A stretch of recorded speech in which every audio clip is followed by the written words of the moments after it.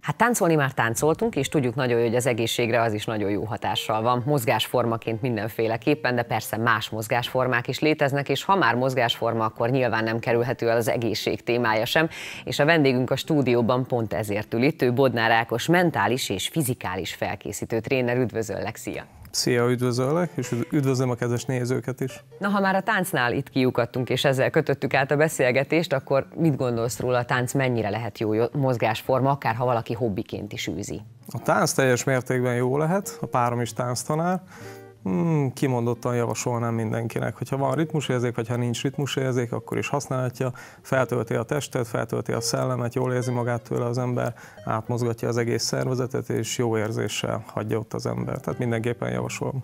Igen, ugye a zumba őrület is nem véletlenül tört ki, hiszen a jókedv és a, a lendület viszi tovább az embert, és úgy mozgunk, hogy közben észre sem vesszük. Abszolút, ez pontosan így van. Nagyon jó. Hát az egészséges táplálkozással kapcsolatban ugye nagyon sokat halljuk manapság az életmódváltás szót. És most te, mint szakember, egy picit menjünk bele mélyebben, hogy az életmódváltás tulajdonképpen miről szól, és mi az, ami általában elindítja egy embernél. Az életmódváltás az mindenkinek természetesen más, van, mindenkinek van egyfajta életmódja, egy napi ritmusa, ahogyan éli az életét, ahogy dolgozik, amit dolgozik, amilyen mozgásformát követ, vagy éppen semmit nem csinál, ahogyan táplálkozik.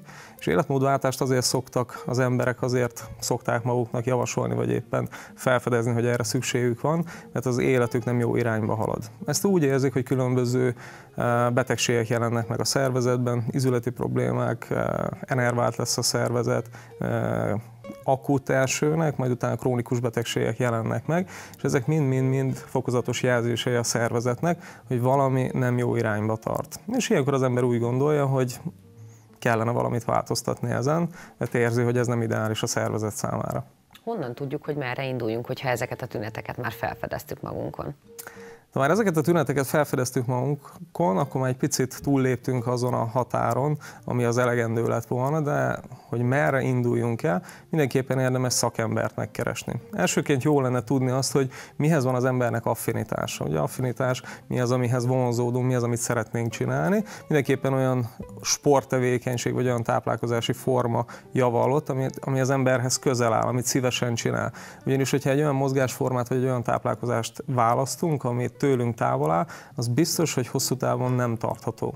Tehát mindenképpen olyat, olyat kell, amihez van kedvünk, hiszen az életmódváltásnak az a lényege, hogy változtatunk valamit, és nem csak pillanatnyilag változtatjuk meg ezt a dolgot, hanem tartósan fent is tudjuk tartani. Igen, és nyilván jobbat szeretnénk, mint ami eddig volt, tehát valamit jó irányba, pozitív irányba akarunk elterelni. Abszolút mindenki, hát ugye ez a cél. Az embereknél a leg, legnagyobb probléma az az szokott lenni, hogy nagyon enerváltak, nincs energiájuk, fáradtan kelnek, fáradtak napközben, fáradtak már délután, és ugye amikor enervált a szervezet, akkor nem érzi jól magát az ember. Viszont amikor friss, energikus, csak nézd meg egy gyereket, lelkes, energikus, pörög, jól érzi magát, egy lepke, egy pillangó iránt is érdeklődik. Ahogy az ember egyre idősebb lesz, egyre fáradékonyabb lesz, egyre kevésbé érdekli a világ, és azt kezdi észrevenni, hogy egy mókus kerékbe került bele, és csak hajtja, hajtja, eltelt 5 év, 10 év, 20 év, 30 év, és igazából mi is történt az életemből? Élvezem, nem élvezem? De az lenne a lényeg, hogy az életünknek a perceit, a pillanatait, a napjait, az óráit, az boldogan, tartalmasan tudjuk megélni, ahhoz viszont szükség van magas energiaszintre. Ebben teljesen igazad van. Egyébként a mókus kereket azt biztos, hogy nagyon sokan átérzik, és most biztos nagyon sokan bólogattak a televízió készülékek előtt. Térjünk rá akkor a táplálkozásra egy picit. Ugye van ez, hogy a napi ötszöri kisadagokban történő táplálkozás az egészséges. Nagyon kíváncsi vagyok a véleményedre.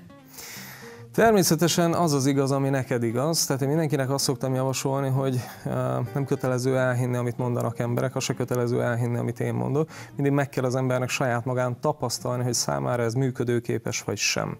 Nagyon sokszor az életben elfogadunk dolgokat ilyen tekintélyelvűen, mert egy szakértő, egy guru azt mondta, hogy ez működőképes, akkor az nálam is fog működni. Minden szervezet, minden organizmus, minden élő szervezet más és más. Viszont az teljesen stabil adat, hogy ez az ötszöri táplálkozás sehol nincsen bizonyítva, hogy ez egészséges a szervezet számára. Hogyha többször eszünk, és nem feltétlenül jó minőséget, akkor azt eredményezzük, hogy a hasnyálmirigyben, az egy hormontermelőszer, megemelkedik az inzulin szint, és a magas inzulin szint az nem feltétlenül ideális a szervezet számára. Ezért az ötszöri étkezés azt eredményezi, hogy egész nap magasan van az inzulin szintünk. Sokkal inkább javallott a napi három, maximum három, de én valamikor két étkezést szoktam javasolni. Na, ez teljesen érdekes, mert ugye nagyon sok helyről ezt halljuk vissza, hogy napi ötszöri apró adagokban történő étkezés, és akkor az anyagcserét gyorsítjuk, de én úgy tudom egyébként, hogy ez is inkább a genetika felé húz, hogy az anyagcseréje kinek milyen. Ez mennyire változtatható egyébként? Az anyagcsere az teljes mértékben a hormonháztartástól is függ. Tehát ha valakinek esetleg túltermel a pajzsmirigy hormon, akkor az anyagcseréje az valóban magas lesz. Ha alultermel a pajzsmirigye, akkor az anyagcseréje lassú lesz hozzátartozik ehhez az életvitel, milyen munkát végez, milyen tevékenységet űz, eh, mennyire stressz, stresszes a személy, az élete. Ez nagyon sok összetevőtől függ. A táplálkozás az nem feltétlenül gyorsítja meg az anyagcserét. Az anyagcserével kapcsolatban úgy gondolják az emberek az anyagcsere, hogy hányszor megyünk WC-re. Nem feltétlenül. Ez is az anyagcserének egy bizonyos része, egy bizonyos szegmense.